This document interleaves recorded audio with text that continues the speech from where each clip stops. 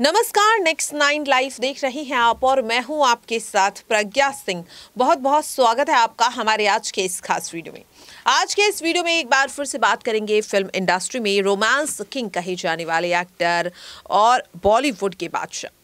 शाहरुख खान की।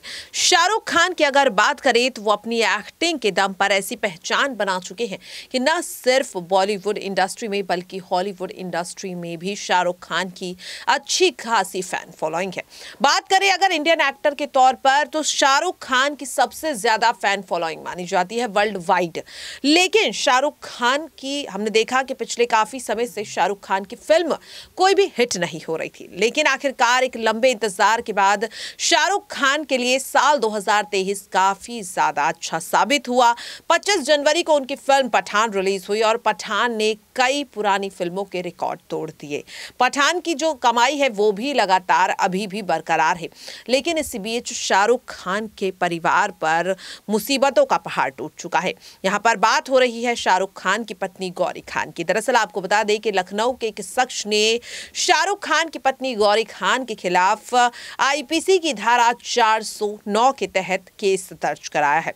इस केस में गौरी खान पर जो आरोप लगाया है, वो लगाया है उनकी एक कंपनी को लेकर। दरअसल इस शख्स का दावा है कि मुंबई में उन्होंने एक कंपनी में फ्लैट खरीदा था। इसके पैसे भी दे दिए, लेकिन फ्लैट नहीं मिला।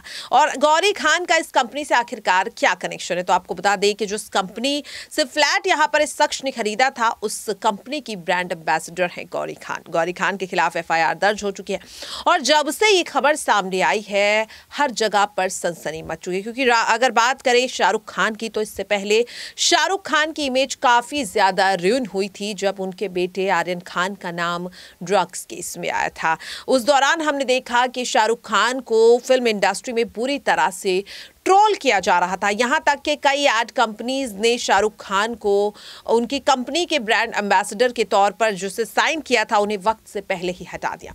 तो कहीं ना कहीं शाहरुख खान की इमेज काफ़ी ज़्यादा र्यून हो गई थी और अब ऐसे में उनकी पत्नी का इतने बड़े स्कैम में नाम आना, उनकी पत्नी के खिलाफ एफआईआर दर्ज हो जाना, कहीं ना कहीं शाहरुख खान की मुश्किलें बढ़ा सकता है। आपको बता दें, साल दो हज़ार तेईस में शाहरुख खान की और भी तीन बिग बजट फ़िल्में रिलीज़ होने वाली हैं।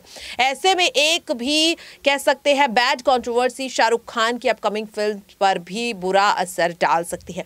बात करें अगर एक्टर की तो अभी इस पूरी कंट्रोवर्सी को लेकर ना तो शाहरुख खान और ना ही गौरी खान की तरफ़ से कोई स्टेटमेंट सामने आया है। लेकिन ये एक कंट्रोवर्सी कहीं ना कहीं आने वाले वक्त में एक बार फिर से शाहरुख खान को वो बुरा वक्त दिखा सकती है, जो उन्होंने साल 2021 और 22 के बीच में फेस किया था। फ़िलहाल के लिए इस खास खबर पर इतना ही। मुझे दीजिए इजाज़त। नमस्कार।